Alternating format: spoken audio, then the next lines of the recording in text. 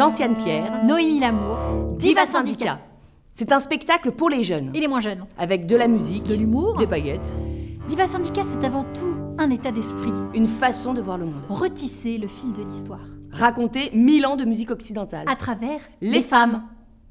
Enfin, euh, deux femmes. Enfin, nous, quoi. Donc, ouais. Depuis le Moyen-Âge, avec Hildegarde de Bingen,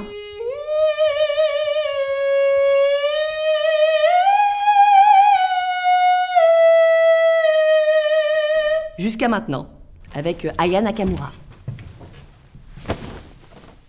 Bienvenue au Diva Syndicat Installez-vous, ça va commencer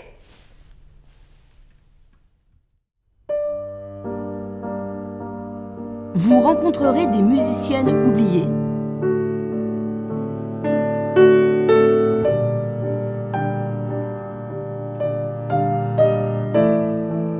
Les instruments qu'elles avaient défense de toucher.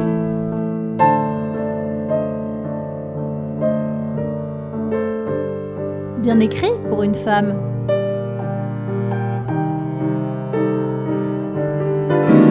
Les rôles. Les rôles qu'on leur a donnés. Nous travaillons l'ACP, le duo des fleurs. C'est magnifique. Là, elle va mourir. Elle meurt toute à l'opéra. Des hymnes qu'on va vous faire chanter.